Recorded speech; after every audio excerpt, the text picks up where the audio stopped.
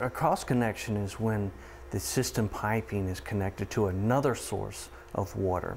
Uh, for an example, it could be lawn irrigation systems or swimming pools.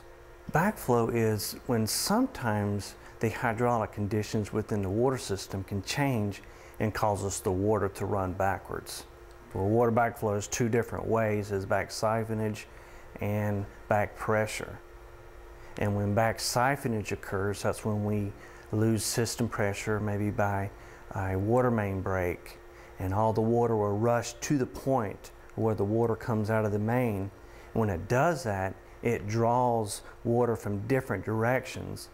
And let's say someone had their garden hose attached to an aspirator, this actually could cause the liquids to come from the aspirator to the piping within the home and contaminate the drinking water. Another aspect of back siphonage is when someone could open up the fire hydrant and as before the water will rush to the point where it comes out of the fire hydrant. Another point in backflow is back pressure and that's when the pressure uh, becomes greater than the supply side. Certain equipment can cause back pressure such as boilers and fire pumps and equipment such as that. Customers can protect themselves by being careful in how they use their garden hose. One is do not submerge your garden hose in any substance or liquids that are unknown. Uh, and one is the reason is you could contaminate the tip of your garden hose or just on the inside of your garden hose. Two, customers should never hook their garden hose to an aspirator.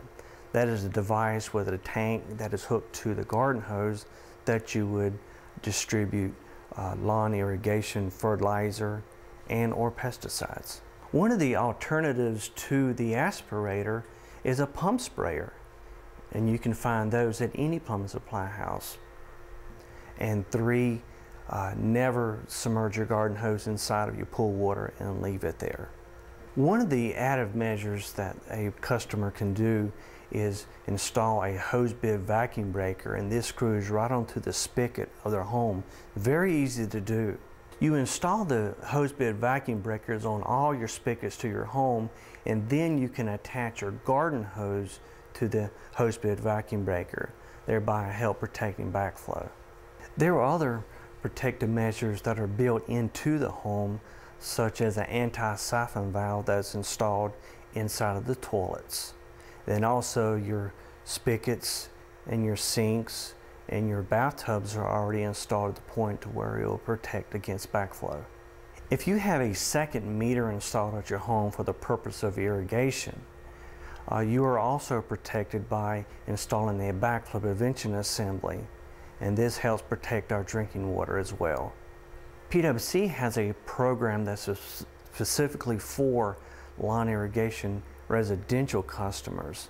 And this program will uh, allow our contractor to come out and test your backflow preventer on your lawn irrigation system on a biannual basis.